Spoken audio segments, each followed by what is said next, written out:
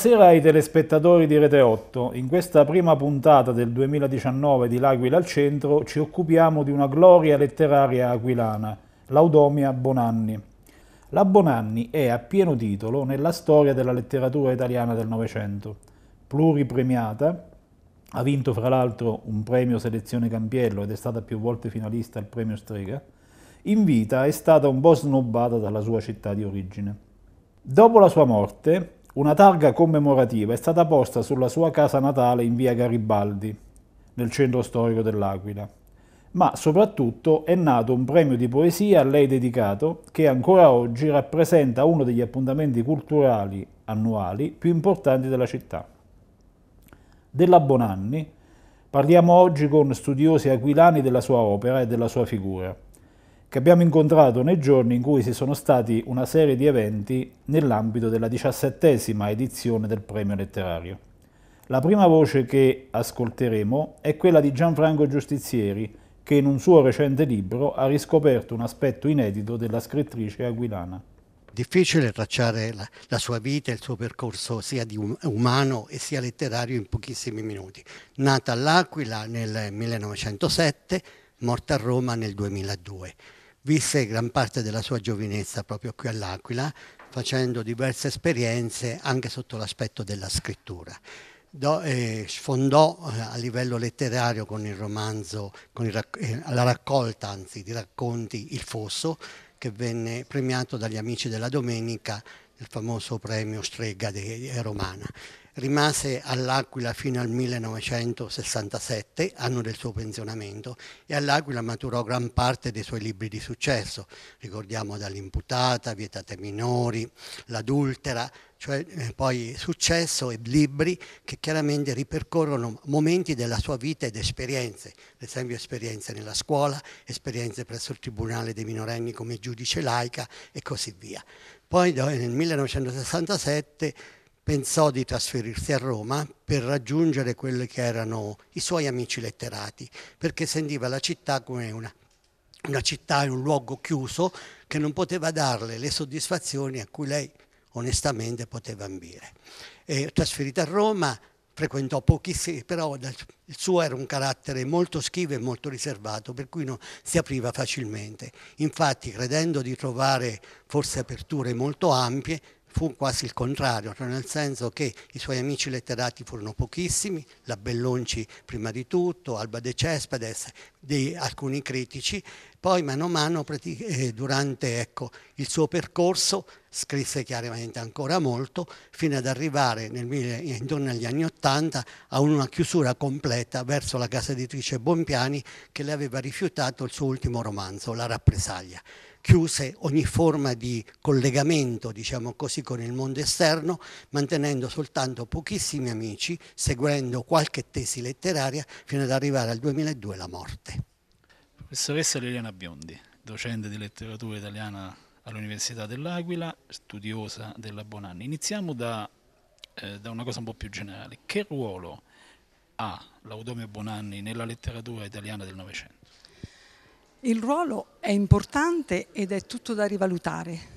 perché lei ha avuto comunque un ottimo riscontro della critica anche eh, durante la sua eh, professione di, eh, di, di, scrittrice, di narratrice eh, e quindi mh, ha, ottimi, ha, ottime recensioni da parte di docenti eh, universitari, di critici del tempo all'avanguardia. E poi c'è stato il momento del, mm, della, della, dimenticanza, potremmo dire, però bisogna anche considerare che la Bonanni è vissuta a 95 anni, eh, quindi fino all'età di 70-75 anni è stata un po' sulla cresta dell'onda perché l'ultimo romanzo l'ha pubblicato nell'82, Le droghe, eh, che non ha avuto un grande successo ma ha avuto un buon successo di critica. E, ehm, e, poi è caduto un po' il silenzio quando le è stata negata la pubblicazione della rappresaglia. E il fatto che lei fosse andata via dall'Aquila nel 68, quindi è andata in pensione come insegnante elementare ed è andata a Roma. I primi tre anni eh, li ha vissuti bene a Roma, poi ha sofferto un pochino anche di depressione. E poi la città è così, ma io non dico che l'Aquila è così. Eh, è così l'essere umano. Mm, lasciamo un pochino da parte i nostri autori, ma eh, lasciarli da parte non significa dimenticarli perché qualche, eh, qualche mh, mm, ricerca e qualche interesse da parte delle, delle, della critica c'è stata. Eh, ricordo sempre per i suoi 90 anni eh, l'Aquila organizzò un piccolo convegno eh, d'altra parte il mio primo lavoro è proprio è stato eh, iniziato in quel momento e, e lei non è venuta eh, poi ci sono stati altri articoli, poi la vera riscoperta della Bonanni eh, c'è stata dopo la sua morte ed è un po' quello che accade a tutti gli autori, eh, come se si concludesse in un certo momento il ciclo e, e, e, inizia, e inizia, quindi la, la vera eh, storia della critica. Professore, eh, tu hai eh, scritto molto su Laudomio Bonanni. qualcuno ti ha definito un amante intellettuale di Bonanni e l'ultima tua fatica letteraria che si incentra sulla figura di Lautaro Bonanni è questo libro che si chiama Antologia sommersa, che è una raccolta di articoli di Laudomia Bonanni, cioè articoli giornalistici. E, in, e, quindi tu, insomma, in qualche modo hai scavato su un aspetto di Laudomia Bonanni forse meno noto, cioè Laudomia Bonanni eh, giornalista. Lei ha collaborato con molti giornali e ha scritto di cosa? Allora, il percorso di scrittura breve, diciamo così, di Ladomio Bonanni è quasi immenso. Tant'è vero che mi piace ripetere le parole che Renato Minore disse alla presentazione del, del mio libro. Eh, la Bonanni è un iceberg completo di cui noi conosciamo la parte emersa, non conosciamo la parte sommersa e la parte sommersa è appunto costituita da questa enorme massa di elzeviri, di racconti, di appunti, di taccuini di viaggio, di esplorazioni, di, di mh, narrazioni di luoghi che lei ha scritto nell'arco di oltre di 60 anni di vita. Infatti i primi articoli noi li ritroviamo nel 1938, gli ultimi, l'ultimo esattamente nel 2001. Sono, qual è stato poi il mio percorso personale? Partendo appunto da questa non conoscenza, potremmo dire, di un'altra Bonanni, ho incominciato, partendo da un fondo ben preciso, dal fondo Colacito che già avevo a disposizione, ho cercato di completare questo percorso conoscitivo e di raccolta, potremmo dire, arrivando a circa 1232 elzeviri che ho raccolto dal fondo iniziale, come ho detto prima, dalle varie emeroteche, dai vari giornali, dai ministeri addirittura, insomma dagli amici, dagli archivi e dalla memoria chiaramente delle persone ancora viventi che eh, ho girato un po' in tutta Italia. 1232 elzeviri in cui noi troviamo di tutto, come ho accennato prima, ma le parti più belle, più sconosciute, ho cercato di inserirla appunto in questa antologia sommersa. Ecco, il titolo è significativo, antologia sommersa, perché ho cavato fuori quasi da un baule metaforico queste antiche pagine, questi paginoni di giornali più o meno grandi, queste pagine che, hanno, che erano riportate nel Corriere della Sera, nel Gazzettino di Venezia, nel Resto del Carlino, nella Gazzetta di Torino e poi soprattutto nel Giornale d'Italia dove ne ho trovati la bellezza di 732, 730, non ricordo adesso il numero esatto. 1232 alzeviri su cui ho fatto la catalogazione, quindi la schedatura secondo un lavoro di diversi anni, di eh, Elzeviro per Elzeviro, e poi ho cercato di raccogliere all'interno del libro integralmente quelli più belli, non conosciuti, cioè che non avevano avuto una seconda pubblicazione e che ho eh, sistemato attraverso delle aree tematiche eh, che secondo me erano quelli che valeva la pena far conoscere ai lettori. Elzeviri che chiaramente ricalcano molto quello che è stato il suo percorso nei romanzi, le donne, i minori, la guerra, i personaggi, i luoghi, costume, società e così via. Lei è stata una personalità particolarissima nell'ambito del Novecento, perché scrittrici ce ne sono state. Quando lei incominciò a scrivere la Manzini era una scrittrice già abbastanza in voga, la Moranti ha iniziato con lei, si può dire. Eh, quello che ha avuto la Bonanni, che, le, che cioè che non ha avuto e che quindi è tutto frutto sua, della sua, della sua eh, capacità eh, perché tutte le altre grandi scrittrici avevano tutte comunque a fianco un compagno, un marito eh, che aveva modo di poterle anche eh, far emergere. Lei invece... Beh, sono stati man manager, eh, sia la Manzini, un pochino tutte, la Banti, tutte. E invece lei è, è, è venuta su per sue proprie capacità. E un'altra cosa che va sottolineata è che noi facciamo iniziare la professione della Bonanni, l'attività, il successo della Bonanni con il 48, quando lei eh, partecipa al concorso eh, Gli Amici della Domenica con il Fosso. In realtà la Bonanni aveva già un ottimo riscontro della critica eh, durante il periodo fascista, perché lei eh, già dal, dal, dal 30-32 era stata chiamata eh, come eh, componente dei, delle, delle, del Tribunale dei Minori, eh, quindi si era molto interessata a queste, a queste problematiche e eh, pubblica con Paravia, pubblica già con Bompiani nel 39, poi la guerra interrompe questo, questo, questo avviamento, questo buono, scriveva sui diritti del, della scuola, cioè scriveva già eh, in riviste accreditate a livello nazionale. Eh, poi la guerra ha interrotto un pochino e subito dopo la guerra anche il fatto che lei avesse, ma non perché fosse una fascista, perché in quel momento, in quel periodo o si aderiva al, eh, no, e, e, potevi lavorare altrimenti sarebbe rimasta fuori. L'Aquila dedica a questa scrittrice un premio, il premio Biber, ogni anno, un premio di poesia però probabilmente manca ancora qualcosa per valorizzarla appieno. Tu hai proposto eh, un parco letterario dedicato alla Domia Bonanni da realizzare dentro il centro storico. Allora questo è un po' un punto dolente, tant'è vero che il libro di cui si è parlato prima non tratta soltanto la parte degli Elzeviri, di questo mondo sconosciuto della Bonanni, ma affronta anche nelle prime 80 pagine un percorso della sua vita, forse non, non conosciuto perché l'ho, l'ho, ritratteggiato attraverso interviste, attraverso materiale documentale che non, è, non era mai uscito fuori. E all'interno appunto di questo percorso ho fissato un ultimo capitolo che se ricordo bene mi, mi, mi pare che sia quinto tempo senza memoria. Vuol dire che ho, sono arrivata ad esplorare il suo percorso fino a a pochi giorni prima dell'uscita del libro, cioè fino al 2017, diciamo così, mettendo in risalto quelle che erano le luci della memoria, le ombre e anche molta oscurità. Le luci dovute anche per esempio al premio B perché se non altro ha avuto il merito di rilanciare il nome della Bonanni a livello internazionale. Le oscurità a livello istituzionale perché credo che si sia fatto molto ma molto poco per questa scrittrice. Tant'è vero che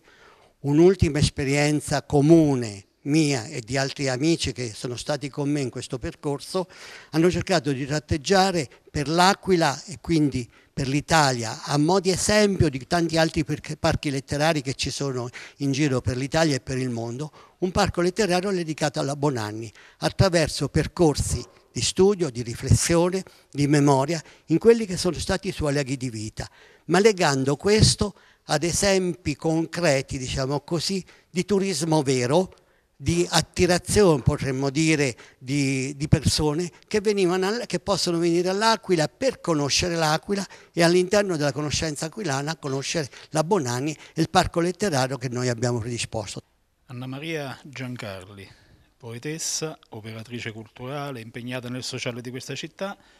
ma in questo caso fondatrice del premio Biber Bonanni. Come nasce l'idea del premio? Eh, intanto sono 17 anni, il premio, ci tengo a dirlo, vive di buona vita appunto. E come nasce? Nella mia mente l'ideazione del, di questo premio è nata per diversi motivi. Uno era ed è ma soprattutto era il fatto che una città capoluogo di regione non avesse un premio letterario degno,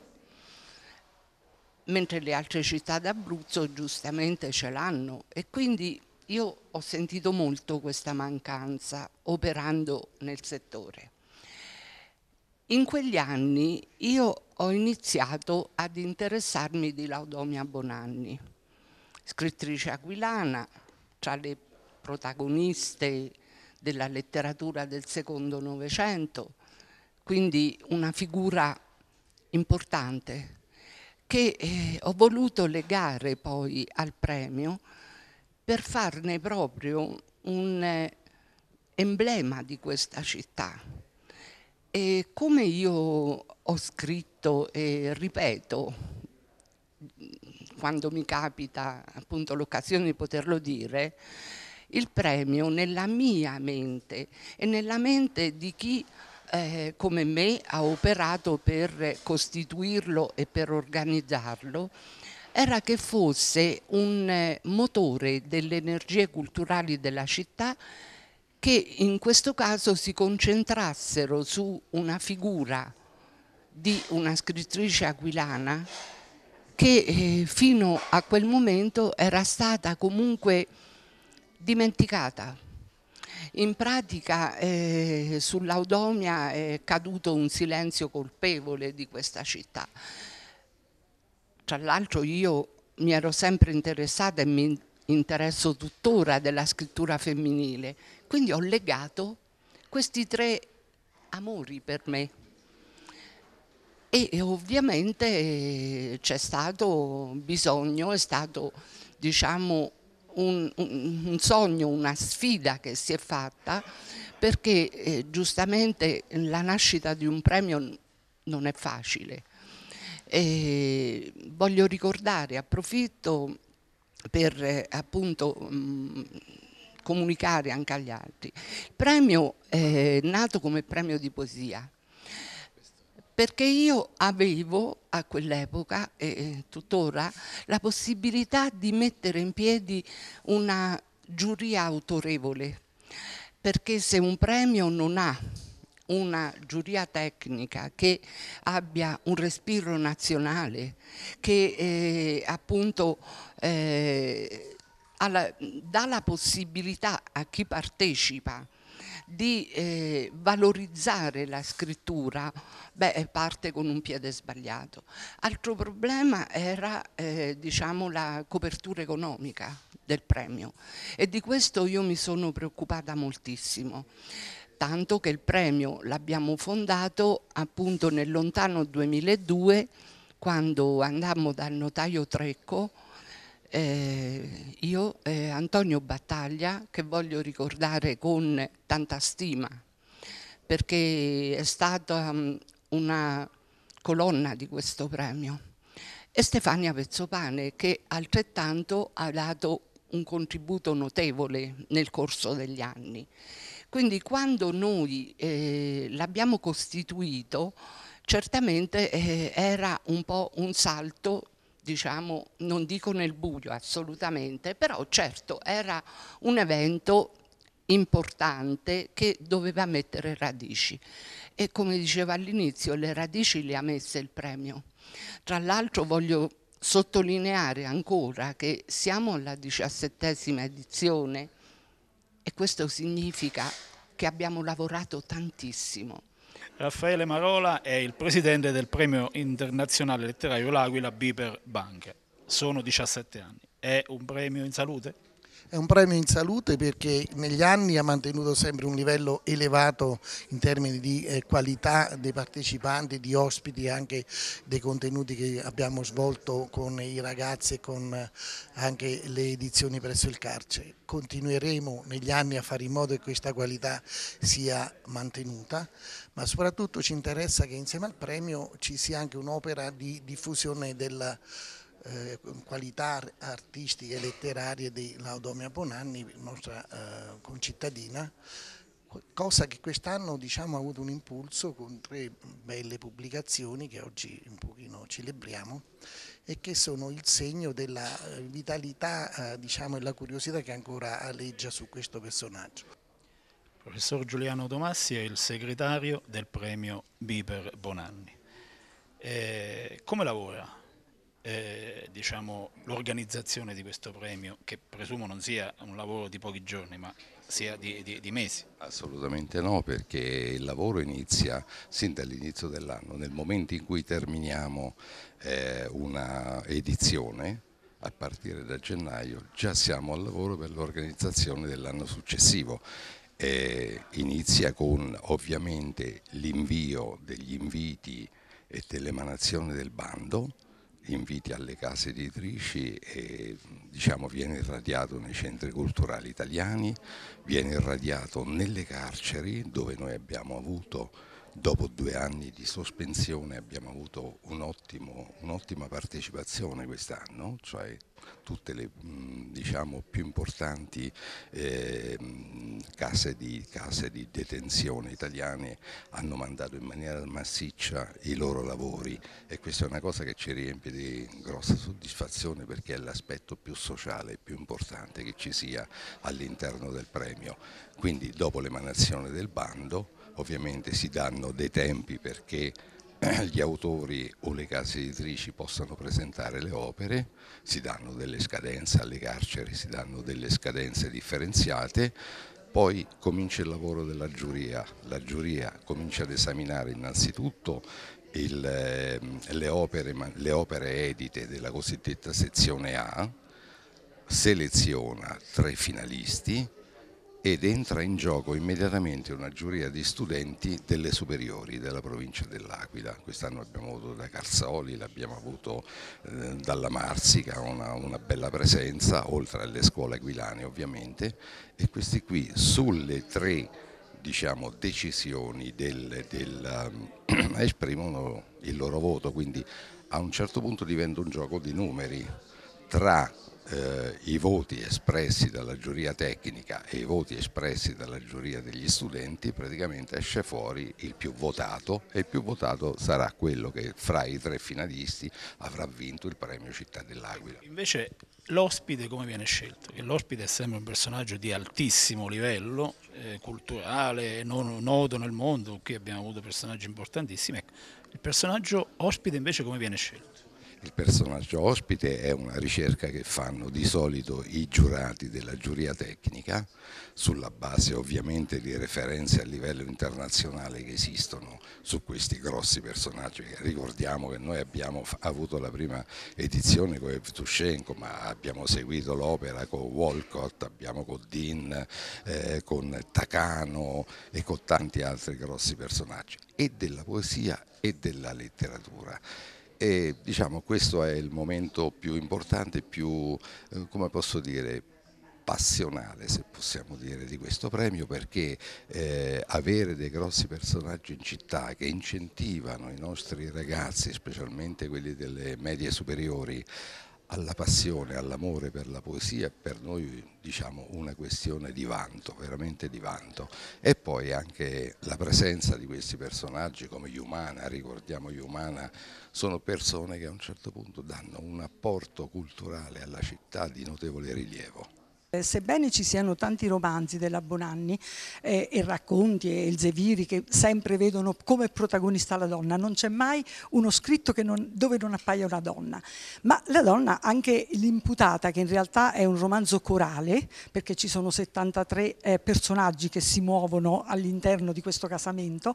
eh, la donna per la Bonanni non è solo il, la, la protagonista principale, ma attraverso la donna lei esprime quella che è la sua concezione sulla donna. Eh, anche io dico sempre l'ultimo romanzo, La rappresaglia, che sembra un romanzo ambientato nel periodo delle, delle, della resistenza, eh, quindi nel periodo delle, della guerra o post-guerra, guerra, guerra ancora, e, e della resistenza. Eh, in realtà la resistenza non è la resistenza storica, è un po' un, un, romanzo allegorico, io dico, perché in tutto il romanzo, in, in fondo, vuole esprimere esprimere quella che è stata la concezione della donna o come l'uomo ha trattato la donna per, migliaia, per migliaia di anni. Quindi la donna è stata sempre colei che è stata eh, in un certo momento sottomessa, eh, sottoposta all'uomo e non solo nell'ambito familiare, ma nell'ambito familiare, sociale, politico, religioso. No?